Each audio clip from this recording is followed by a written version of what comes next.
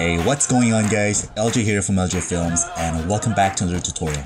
Today we'll be creating a double exposure effect and what you can do with this effect to create an awesome intro like this one.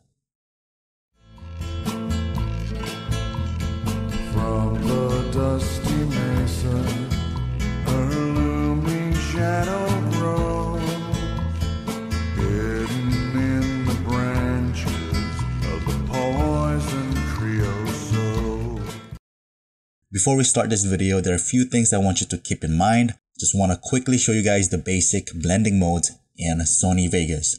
So just quickly, I'm going to go to media generators and go to a split screen effect and drag that down onto our clip. We have white on the left screen and black on the right screen. So if you can go to the video track right here, once you click on that effect, there are multiple choices you can choose from. But for today, it's the lighten that I'll be working with. So let's give that a click. So as you can see right now, whatever was black is now transparent.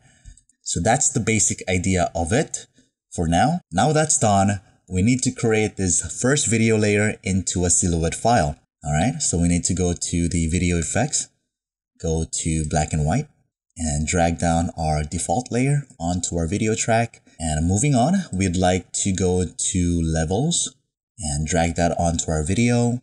What I like to do is rays up our black channels. And ideally, your goal here is to make your subject black and the background white. And the next thing we'll be going to do is go to our video track, click on the compositing mode and choose lighten. And voila, there you have the double exposure effect. To make this a lot more entertaining, I went with the effect called raise. This is before and after. It adds that extra element. And what I like to do next is add a new effect. It's called the mirror effect. And voila, it created a unique shape out of my head.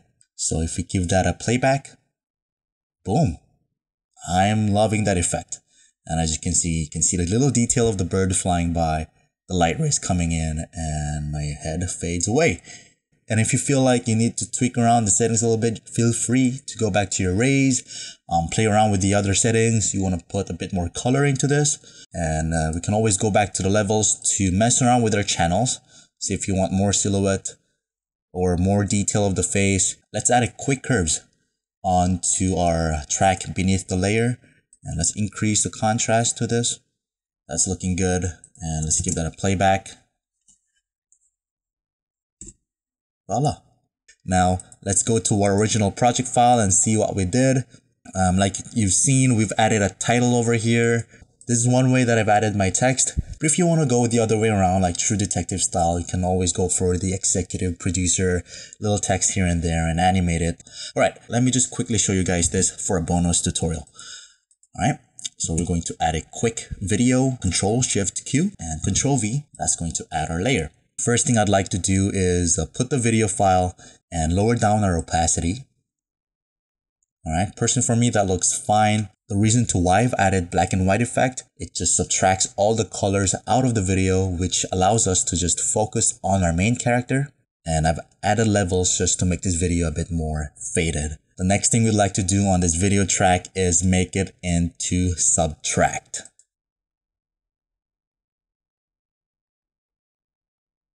Voila.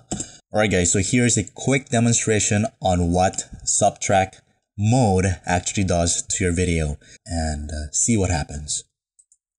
Now, whatever was white is inverted into black and whatever was black is now transparent. So what subtract does is it inverts the video and whatever is black would be subtracted. What ends up happening is you see these beautiful, beautiful trees and it kind of looks like a brush tool in Photoshop. So we're just going to fade this video in, fade out the video, and when we play back, it adds that subtlety to the video. Awesome. And that's about it guys. Uh, feel free to play around with the compositing mode and make sure to give this video a thumbs up if you liked it and leave a comment below on which topic you want me to cover next on Sony Vegas. And subscribe also if you happen to be a newcomer onto this channel. So there you have it guys, signing out.